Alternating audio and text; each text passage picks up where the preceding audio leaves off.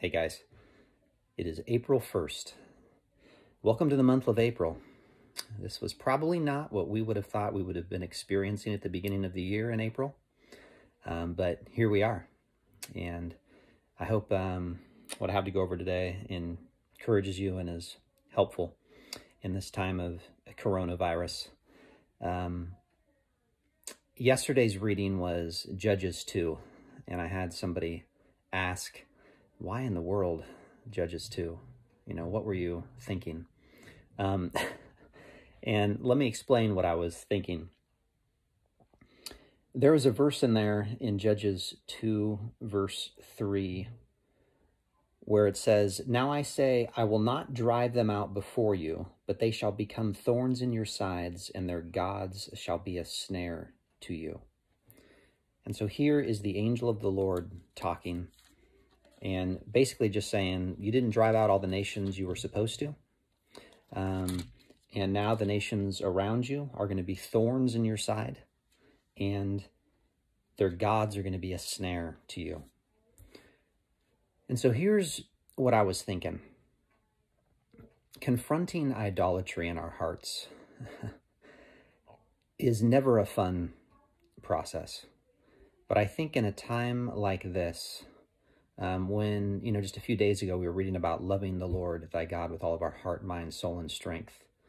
Um, that being a touch introspective and going, God, in this time, when you've taken away some of the things that I love, um, what are you showing me? What else is maybe going on in my heart um, that might be ensnaring me? And so I would just ask you as, as you're at home, um, to think about that. What temptations might there be um, that you might try to cope with as to cope with in this time, to soothe yourself with in this time? Um, what might be a lure or a bait, a snare um, that could potentially get you? And again, these these could be many different things. And oftentimes, idols um, are gifts that are turned into gods. And we've seen that in Ecclesiastes. So don't misunderstand. There are God given gifts and God given ways of, of, um, of experiencing joy in this life in very ordinary ways. God talks about friends, relationships, food, drink, wine. Go down the list of what we've been learning in Ecclesiastes, all these different gifts that God has given that he calls us to enjoy.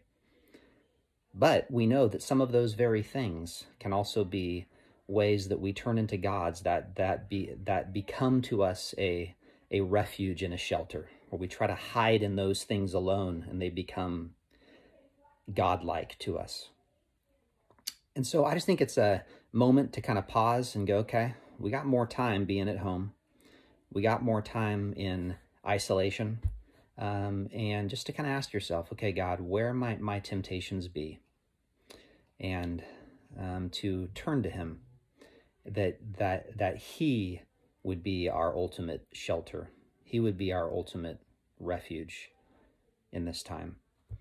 Um, so that's what i was thinking when it came that it judges. Just a warning a little checkup inside to say you know what god? What what things do i need to repent of that might be idols in this time? What are you revealing to me and of course, uh, Psalm 46 um, that God is the one and only God. And so we can be still. He will be exalted. I love how he says that in, in Psalms. I will be exalted. It's not an option. It's going to happen. God will be exalted on the final day period. And so now, um, in this time, may we exalt God. May He be our ultimate refuge, our shelter, our safe place. And so I encourage Him go to Him with anything you might need to repent of. He will embrace you, He loves you. Don't hide in those other shelters. They're not going to be that ultimate place of refuge. They will always ultimately disappoint. Um, and then, of course, use the gifts that He has given in this time appropriately, um, recognizing Him as the giver and not turning those into idols. Hey, hope you have a good day. Bye bye.